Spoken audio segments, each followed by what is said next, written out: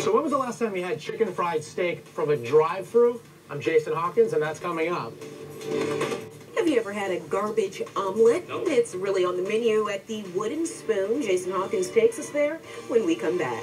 There are neat little breakfast spots all over the state. Some smell so small you might never know they were there. NBC Connecticut's Jason Hawkins found one of them in Ashford where the omelets are top notch and the company even better. It's the quintessential towny place. A home away from home. And there's nothing like home cooking. At Ashford's Wooden Spoon, Gene Martin is deliciously dishing up everything that's not on your diet. With Garbage omelets, specialty pancakes, burgers, Philly steaks.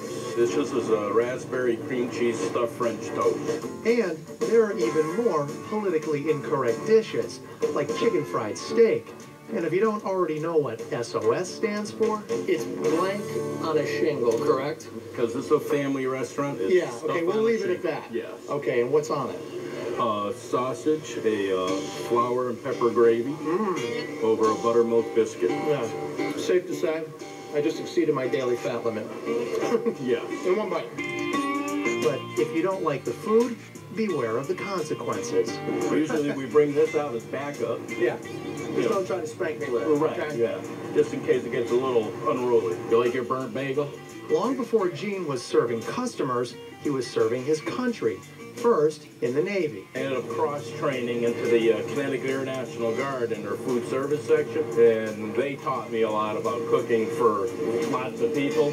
Gene retired from the service in the late 90s and eventually from his full-time job at FedEx. He'd always wanted to open his own restaurant and thought it was the perfect time.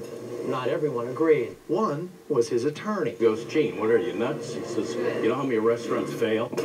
Against his counselor's advice, Gene opened up shop.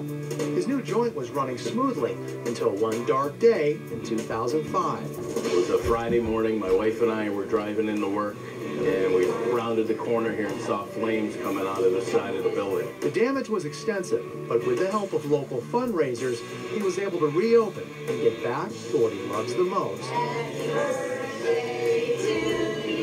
I like being around people that are happy. And I'm the most happiest is when I'm having good food in front of me. And there's plenty of that.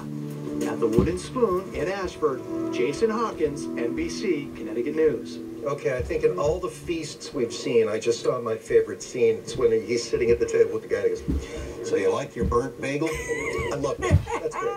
What a nice comeback, too. If you have a restaurant you think Jason should check out, send an email to news at nbcconnecticut.com.